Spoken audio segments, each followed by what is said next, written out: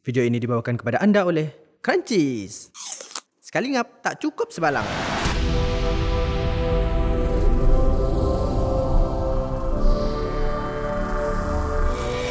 Apa itu iman taklid? Iman yang terbit daripada meyakini perkataan guru ataupun perkataan siapa yang menjadi guru ibu bapanya ataupun cikgunya teachernya ustaznya penjaganya iman itu terbit daripada meyakini perkataan guru. Dia cuma ikut-ikut. Meyakini itu ikut-ikutan ya, keyakinan yang mengikut-ngikut. Di dalam tauhid taklid ini dia tidak menyempurnakan iman manusia. Bukan bermakna dia tak beriman terus dia masih beriman. Tapi kalau hanya sekadar taklid maka tidak sempurna tauhidnya.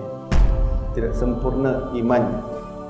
Ini dipanggil iman taklid. Iman taklid ni iman yang rapuh iman yang goyang iman yang mudah tercabut kalau didatangkan dengan dengan ancaman kepada akidah dia cepat goyang.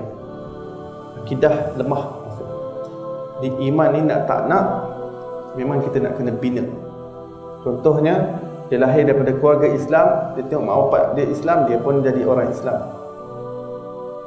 Dia tengok mak opak dia beriman dia pun beriman. Belajar tak tentang iman? Tak. Saya beriman sebab mak opak saya beriman. Saya percaya kepada Allah dah itu. Tapi selok-belok berkenaan dengan iman dia tak tahu. Ha, ini bahaya.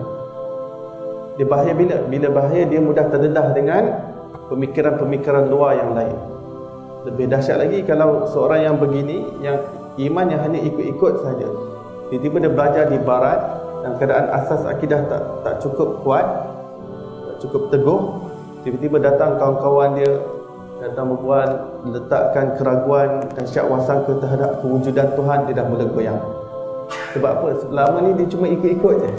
Mak bapak dia orang beriman, dia pun beriman. Tapi bila dia dah mula terdedah, lebih-lebih lagi kita hidup di zaman globalisasi. Di dunia tanpa sepadan yang mana maklumat dan ilmu boleh didapati di hujung jari manusia. Apabila asas akidah tak teguh, maka dia mudah dia mudah terpengaruh. Dia mudah terkesan.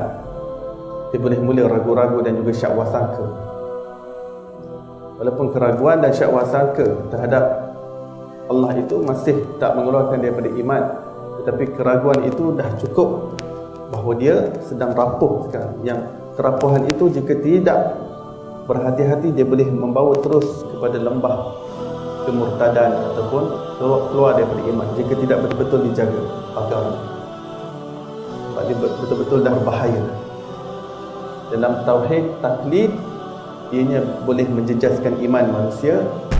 Menjejaskan apa? Menjejaskan mutu iman. Menjejaskan apa? Menjejaskan kualiti iman menjejaskan apa? Menjejaskan kesempurnaan iman. Maksudnya hanya dengan iman taklid iman dia tak tak sempurna